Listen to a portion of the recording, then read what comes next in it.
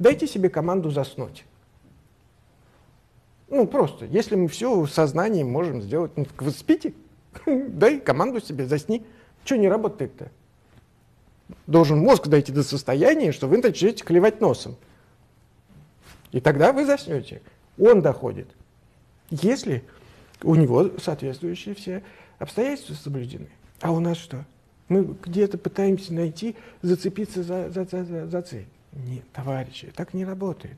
Система мышления это не э, пункты, да, это много знаний о реальности, которые объединены общим контекстом. А у вас 25 тысяч контекстов, понимаете, здесь вы про то, здесь про здесь Фома, здесь про Ерему. Это все приобретает как бы состояние э, совершенно ни к чему не годное.